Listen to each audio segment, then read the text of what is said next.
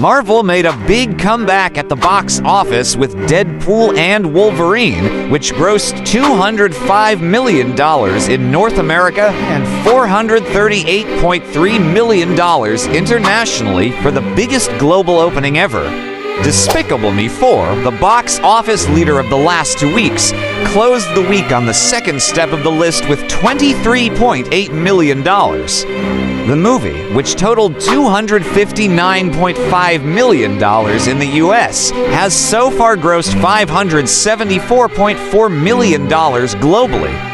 The sixth film Despicable Me and the Minions franchise became the first animated series to cross the $5 billion mark. Twisters exceeded expectations, grossing $80.5 million in its first weekend, ending a five week streak of animated features topping the US box office. Inside Out 2 moved closer to the milestone with $12.8 million in its sixth weekend in theaters. Reaching 1.4 for $3 billion worldwide, it surpassed Frozen 2, which grossed 1.45 for billion dollars to become the highest grossing animated film of all time.